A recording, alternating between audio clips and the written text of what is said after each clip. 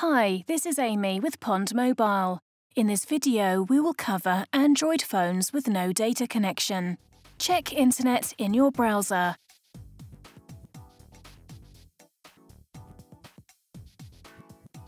If you see this page, go to Settings.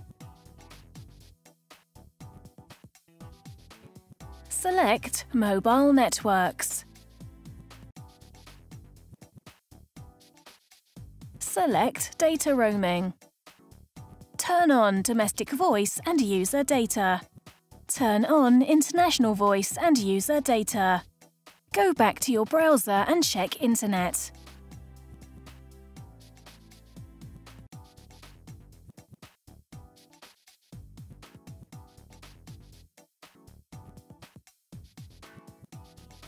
You're all set.